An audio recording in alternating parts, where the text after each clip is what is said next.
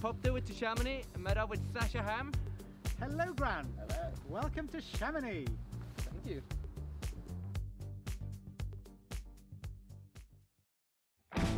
Back in the 90s, Sascha was one of the first pro snowboarders out of the UK. He was known for going big and scored a lot of covers. After winning the British Championships, he saw a chance to pursue his Formula One racing dreams and spent all his winnings on a racing school. After winning the graduation race, he got offered a seat in Formula Ford. After three years, he realized racing is for rich kids. He went on and got himself a real job. It took more than 10 years before he returned to the competitions. This time, it was the Freeride World Tour. Now, next in, one of the most remarkable characters on the Freeride World Tour, Sascha Hamm. Not going to see a half-hearted run here. Sascha is going to send it top to bottom. It's Yeah. podium or bust for Sascha.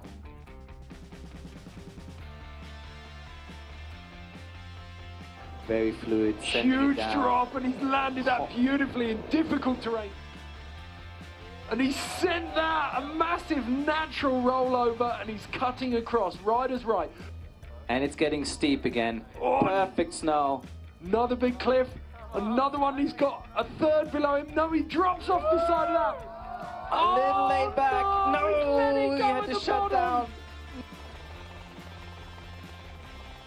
Wow, that's the what we like biggest to drop see. that we saw today. Here's world number six. He's capable of winning events when he can stay on his feet. Side and going even bigger than the others. Grab and a solid landing. Standard Sascha Hamm lines. Oh, yeah. Beautiful. There we go. And it's coming in. He's loving it.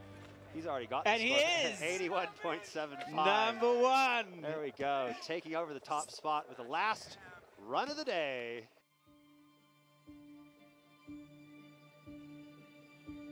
After winning the first competition of the season, things were looking good for Sascha. This could be the year to bring home the world title. But in Austria, everything changed.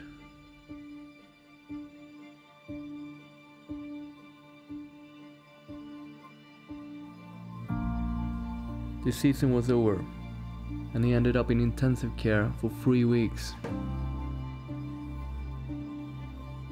After eight operations, two years of rehab, and constant nerve pain.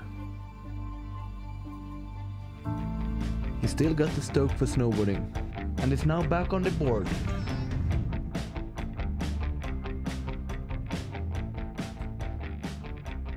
Sorry, Gran. Not much snow in Chamonix. I think I know a place where we can find it. Okay, let's go. We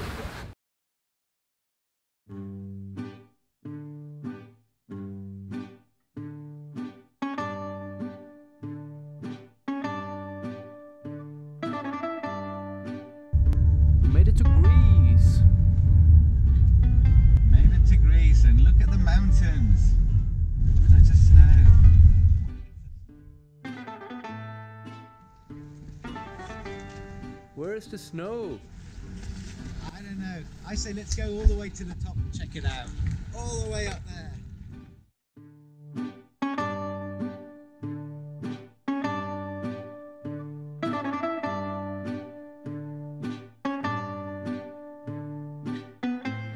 The local guy's gonna show us the best run of the resort. We found these guys before us here.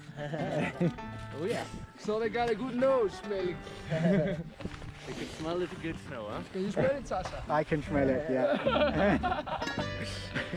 So, are we ready to get going? Ready? Sure.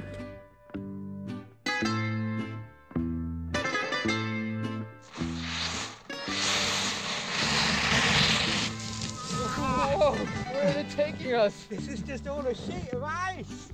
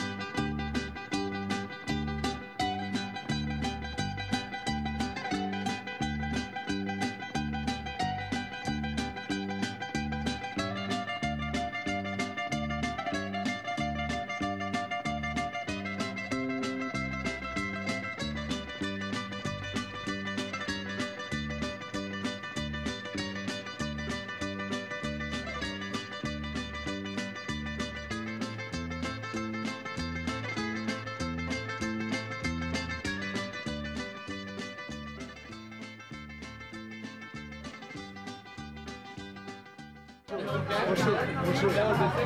was a pleasure to meet you. No worries, no worries. Nice to meet you, Sascha. Nice to meet you too, man. What are you doing, Grant? hiking.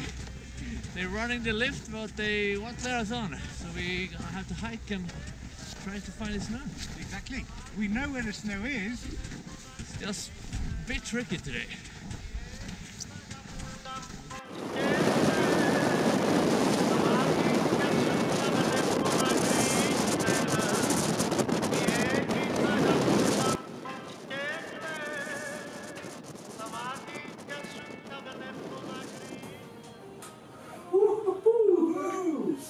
So windy out there. Windy. We made it to the top. That was a mission. Oh yeah. The lift is not working, so we're gonna have to hike all day to get some snow. Yes. And now we're going to find some epic powder. Into the trees. Yes. Locals showed us yesterday.